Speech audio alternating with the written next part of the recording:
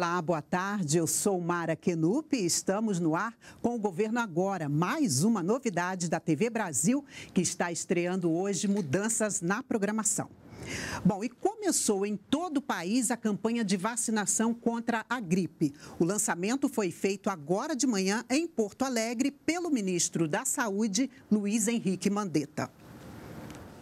A partir de hoje, está aberta a vacinação Primeiro, para gestantes e crianças abaixo de 6 anos e a partir do dia 22 para toda a população que for o público-alvo dessa campanha. Serão 65 milhões de doses de vacina, onde a gente vai garantir um inverno para aqueles que necessitam, imunes dos principais vírus que circulam no nosso país e evitar que aquela gripe transforme em pneumonia e transforme em tristeza e óbito.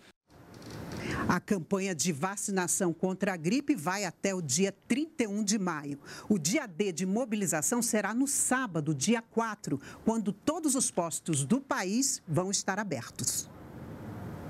A meta é atingir cerca de 60 milhões de pessoas em todo o Brasil, 90% do público-alvo. A campanha deste ano está começando com 15 dias de antecedência em relação aos anos anteriores, devido aos casos de gripe já notificados no país.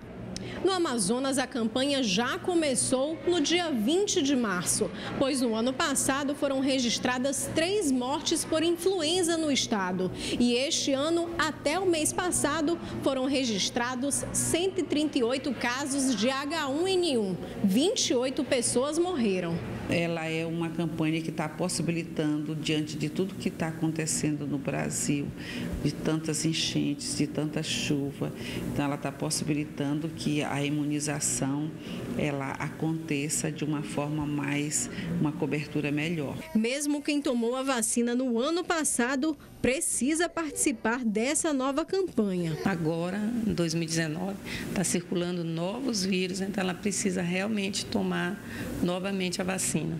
Em 2018, a cobertura vacinal ficou abaixo do esperado em algumas regiões do país.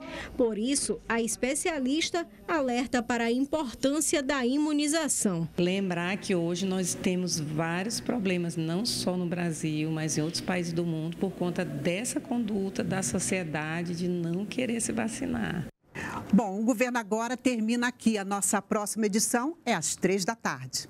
Tchau.